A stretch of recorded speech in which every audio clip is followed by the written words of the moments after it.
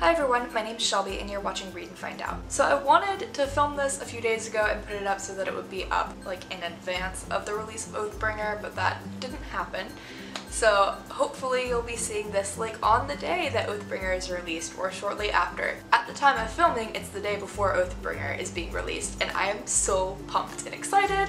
So I just kind of wanted to chat with you guys about the things that I love about the Stormlight Archive, where I think it's going, and then some questions that I have for the upcoming book. Also, I'm gonna go ahead and point out that my channel name has changed, you might have noticed. I just took out the portion of it that was my actual name. My transitioning period from purely commenter to content creator is over and now I'm just read and find out and not Shelby Mackhart read and find out. so I'm gonna go ahead and warn you if you have not read the first two books of the Stormlight Archive then you are gonna want to leave because yeah, this video is going to be chock full of spoilers for The Way of Kings and Words of Radiance because this video is going to be about the direction that I think the Stormlight Archive is going in and the questions that I have. So my thoughts might not seem super coherent when I'm doing this video because when I was trying to plan it, I was just all over the place with all of my ideas and stuff like that. So I think I'm gonna start with the things that I love and I'm interested in and how I predict they're gonna play out. So I'm gonna start with the actual structure of the book.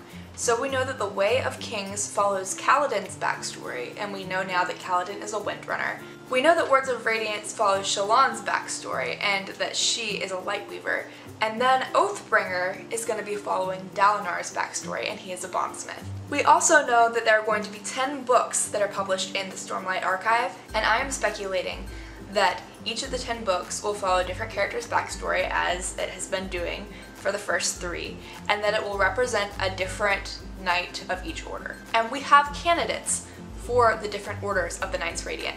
We've already followed the Windrunner, which is Kaladin, and we've followed the Lightweaver, Shallan, and we're going to follow the Bondsmith, Dalinar. At the moment we don't have any confirmed Dustbringer characters, and I don't have any predictions on that quite yet, we know that Lift is an edge dancer, so I'm betting she's going to be pretty major in later books. Renarin is confirmed as a Truth Watcher, Szeth is a Skybreaker, Jasnah is an Elsecaller, and we don't have any confirmed Will Shapers or Stone Wards yet, but I have a prediction about a potential Will Shaper. And I think that our potential Will Shaper is Eshonai. Yes, Eshonai the Parshendi, the Voidbringers. I totally think that she's going to be a Knights Radiant because I've heard Sanderson say that he can't confirm or deny whether or not Parshendi and Parshmen have the potential ability to Surge Bind. Also, following the structure of the first two books, and following the cover choices of the first three books. So, in The Way of Kings,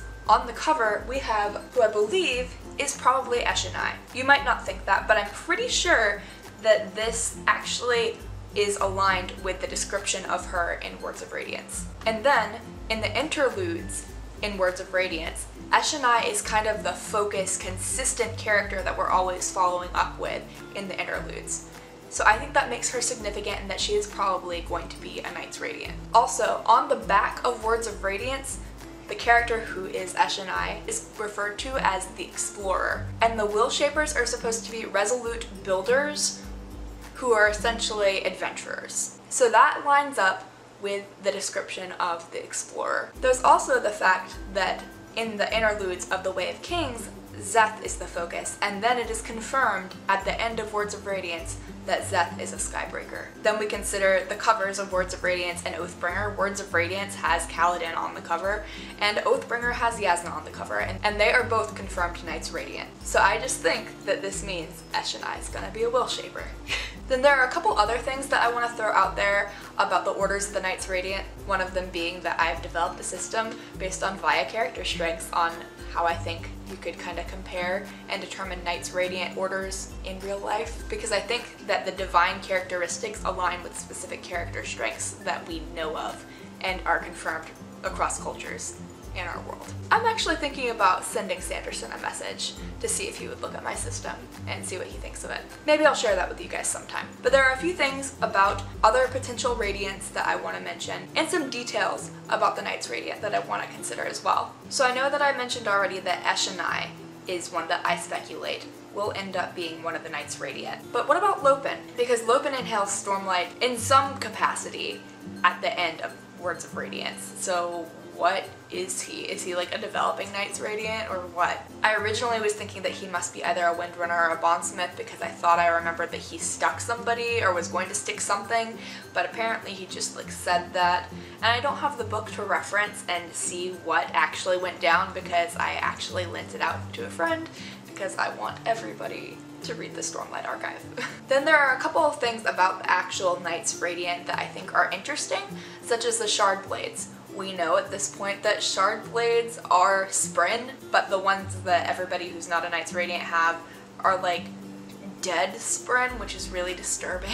but I noticed when reading these books that the shard blades, when being used, you know, as an actual, like the Spren that they have the Nahel bond with, the shard blades actually glow the color that is aligned with their specific order of the Knights Radiant. So that's something that I expect to continue to see. For example, Kaladin's is blue and Shallan's is like reddish pinkish, which aligns with Sapphire and Garnet. I'm really curious about how shard blades are going to work out for Dalinar since he's bonded, sort of, to the Stormfather. So is he ever gonna be able to use like a legitimate shard blade? I don't know. Also, what is shard plate?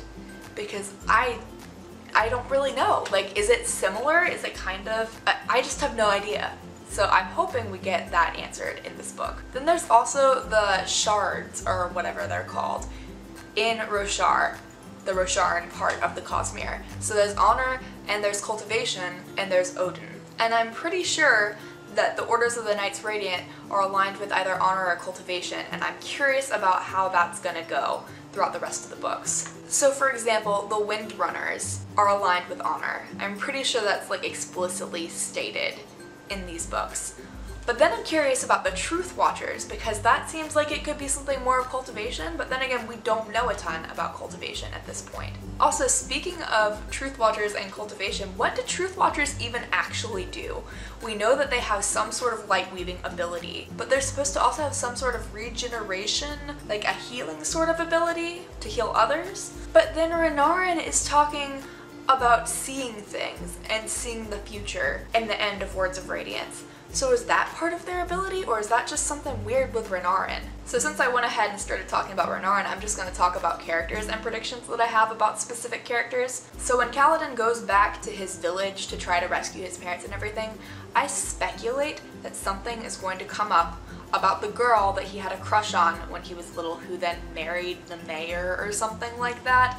And then I'm also hoping we might hear a little bit about whatever Kaladin's backstory is with some woman named Tara who's referenced multiple times in the first two books, but we don't know anything about her. Then with Shallan, I'm just like not sure how she's gonna manage this whole shady dual identity thing. I don't like that, honestly. That's one of my biggest issues with Shallan's character is that I get that she's kind of supposed to be this, not morally gray exactly, but this character who is okay with lying and deception and I think that works well with light weaving, but it's something I feel really weird about. And then because this is Oathbringer, we will be getting Dalinar's backstory and I am really, really, really hoping that we find out why the heck he has all these big gaps in his memory. Like, we know that it's something to do with how Dalinar went to the Night Watcher and then some of his memories were taken away, but like, what was he going there for? And why were the memories taken? And why specifically about his wife?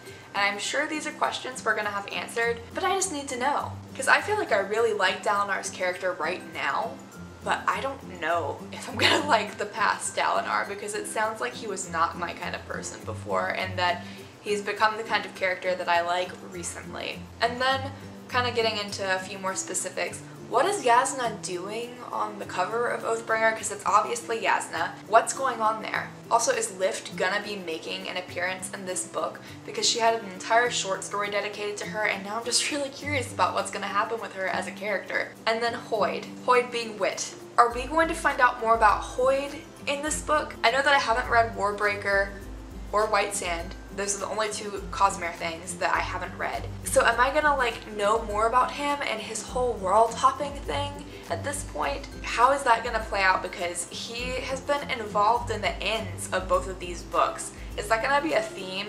Is Hoid slash Wit going to be kind of like the end scene for all of our, these books, that would be interesting if we got to the end and he was the last scene because I feel like he is gonna be all wrapped up in everything that's happening. Speaking of all wrapped up in everything that's happening, there's Taravangian.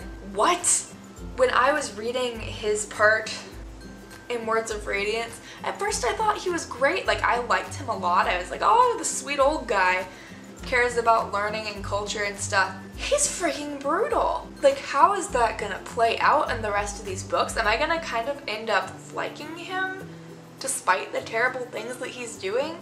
Or am I going to decide that he's a complete monster? Because at the moment I'm feeling like he's a complete monster, but I also started out feeling like he was a sweet old man. Speaking of people that I'm trying to decide if I think they're a monster or a nice person, there's Adolin, who I do not think is a monster, but he kills Sadeas at the end of Words of Radiance in cold blood. Like he just freaking kills him. And I know that Sadeas was threatening his family, but it was like more vague kind of threats. It wasn't like he had a family member right there and was like about to kill them. And Adolin killed him. Who the heck is gonna realize that Adolin is the one that killed Sadeas? Because I know they're probably like just gonna find Sadeas' dead body or whatever and assume something bad happened to him because they're in Urithiru and who knows what goes down there, but like somebody's gonna have to realize that Adolin killed him. Like, that's gonna have to happen somehow. And then I'm kind of worried, like, what is Sanderson gonna do with this? Is he gonna turn Adolin into, like, an anti-hero? I doubt it, but I think he has potential at this point in the books. But then again, I think that this kind of makes Adolin and Shallan kind of deserve each other because they both do things that I consider shady. And I really hope that this does not become a love triangle with Adolin and Shallan and Kaladin. Because I think Shallan and Adolin are cute on their own and I'm just really tired of seeing love triangles. An example of why I ship Shallan and Adolin is them talking about poop in Shardplate in Words of Radiance. When that happened I was just like, okay, I ship it. They're talking about defecating. and since this has been really rambly, I'll try to just like wrap it up briefly by mentioning that because I like understanding systems and magic systems, and I've obviously been putting a lot of thought into the Orders of the Knights Radiant, I'm dying to know what kind of Spren are associated with each Order of the Knights Radiant. like so far we know about Honor Spren, and we know about the Cryptics, which are essentially like Lie Spren, and then we know about the Stormfather, but like, what do the Bondsmiths typically bond to? Do they all bond to the Stormfather? Like, how does that work? How does the Nahel bond even work? I know that it somehow involves broken people who have some sort of crack in their like spiritual DNA within the Cosmere, sort of, and that is able to be filled with the Nahel bond. But how? I also know that Spren and like kinds of Spren select who they want or who's going to be a good fit based on, I'm assuming, the divine characteristics. So obviously Honor Spren would look for protecting leading people, Windrunners. Cryptics would be bonding to creative, honest people, Lightweavers. What kind of Spren are wanting to bond to the Truth Watchers, like the Learned Giving? And yes, I'm using Truth Watchers as an example because based on my own system, I think I am a Truth Watcher. also, we know that Windrunners are of honor, sort of, or something, and I speculate truth watchers are of cultivation, so what if they are like cultivation spren or something? I don't know, I just need these answers so that I can fill in the gaps of my magic system knowledge for surge binding and stormlight consumption and all of that stuff. I like to understand things. But anyway, that is gonna be it for this video. I know this has been long and rambly, but I have so many thoughts and I'm so excited for Oathbringer coming out tomorrow. So at the time that you're probably watching this, I'm currently reading it. I'd be willing to bet. Comment down below and let me know what some of your predictions are about the future of the Stormlight Archive. Also, if you have happened to start Oathbringer, no spoilers for Oathbringer in the comments, please. This is Way of Kings and Words of Radiance spoilers only. I hope you enjoyed this video. If you did, please feel free to give it a thumbs up and subscribe. Thank you for watching. I hope you have a good day, and until next time,